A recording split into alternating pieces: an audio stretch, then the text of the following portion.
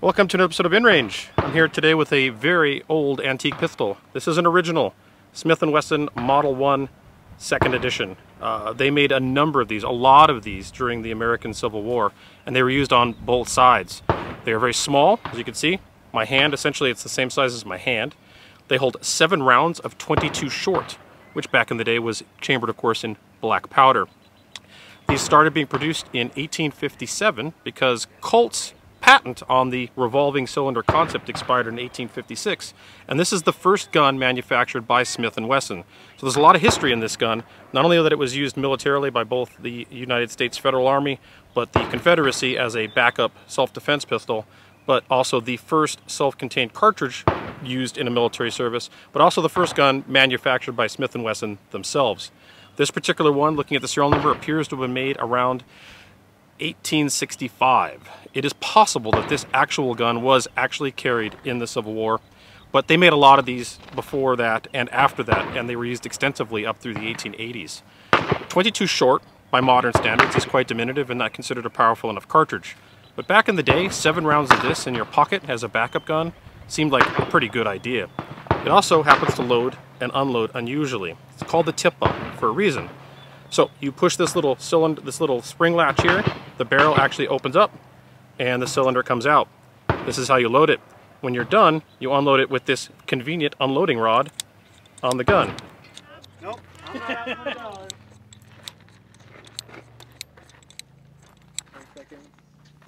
Clear. Reload it, stick it back in, close it on up. It is a single action, meaning you have to cock it to fire it for each round that you wish to fire. It actually has a spring-loaded rear sight and a front blade, which are a little hard to see, but surprisingly more accurate than you'd expect. So I'm going to shoot this right now at the backup gun match, and then I'm going to come to you at the end with some conclusions.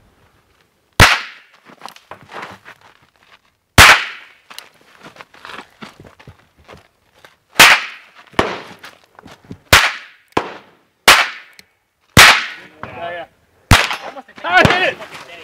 Did you hear that? Yeah! Nope. It took. I hit it.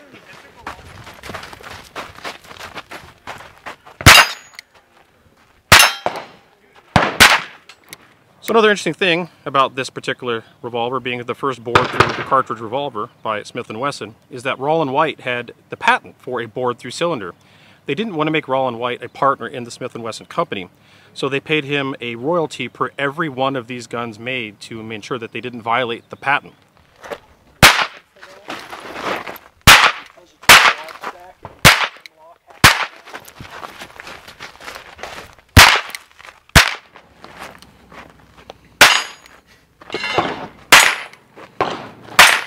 Taken the money. so the match is over, and uh, I was the only one shooting the uh, backup revolver in this match, so I technically won that division, one out of one. Um, almost everyone here out of 28 shooters was using some sort of semi-automatic. There was, I think, one other full-size revolver, which is a different division than this. Um, out of those 28 shooters, I came in 18th with this little Civil War pistol. Now, uh, that said, this thing, I can see why this was popular, even up into the 1880s. It fits cleanly in your pocket, it's easy to conceal. It's actually accurate enough with the sights. I made hits today that I was quite surprised about. But really, sights and aiming with this seems irrelevant. This is a close quarters pistol for close quarters self-defense. And, well, 22 short is by no means something that we want to rely on by modern standards. In 1865, seven rounds of this in someone's face would probably be quite a deterrent, and I can see why a lot of soldiers opted to carry one of these if they could get their hands on one. Truly a very influential design. You don't see anything quite like it today, not really. Um, for the match, uh, you can't get black powder 22 short. It's not realistic. So what I used was CB rounds. But when I chronographed it, it appears to be eh, about 75 feet per second less than the recorded speeds for 22 black powder short for what we're shooting today, paper and steel targets, it really didn't matter. In fact, it even knocked over one steel target today.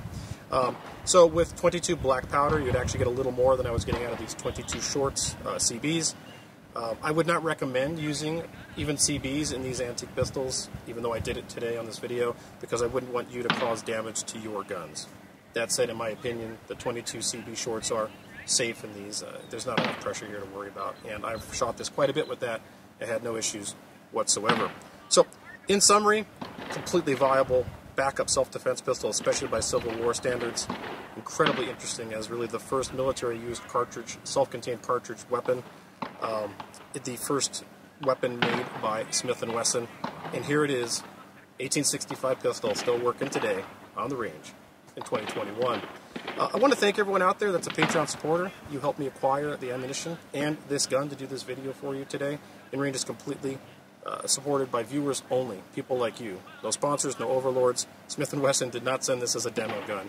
Uh, strictly you, the viewer. If you are one of them, thank you. If you'd like to consider it, you can find us at patreon.com slash inrangetv. If you can't, I do understand. The next best thing you can do is subscribe to the channel, and even more importantly, share the video organically with your friends. Be the organic algorithm that YouTube sometimes is not. Either way, thanks for watching.